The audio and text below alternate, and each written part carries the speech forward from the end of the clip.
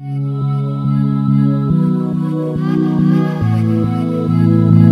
everyone, this is Alex Fleury for Real World Endo. This video is entitled What Makes Endo Go Bad?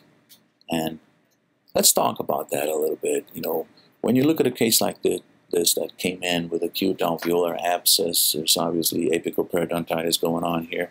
This is a previously treated tooth where you have uh, less than ideal length here in the distal root. You have tissue left behind, and this is causing problem here. So if I could list, uh, if I could remember a, a, a list of things that can make endo fail, you can mention missed canals, you can mention the length not being ideal, too short like in this particular case, or too long. You can mention a cracked tooth, you can mention perforation, and so on and so forth. So there are different things that can make, different instances that can make endo fail. Uh, here in this particular case, you have a perforation. I can give you several examples of that.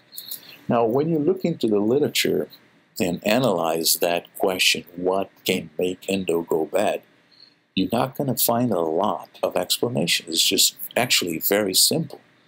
This is the best uh, study to ask that question. But it's actually a series of studies. The Toronto study is uh, phases 1 through 4, published between 2004 and 2008.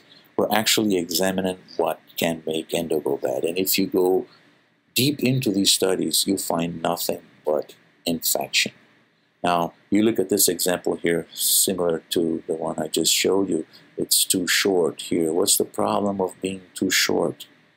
Well, being too short, uh, this space here will harbor bacteria. It was originally necrotic to start with, and now patients having an acute exacerbation of that. It's infection. Bacteria can survive here away from your immune system, from the patient's immune system, so uh, it's infection. There's nothing else. This is a bit skinny here. And that also is uh, an indication that canal was probably not clean to start with. So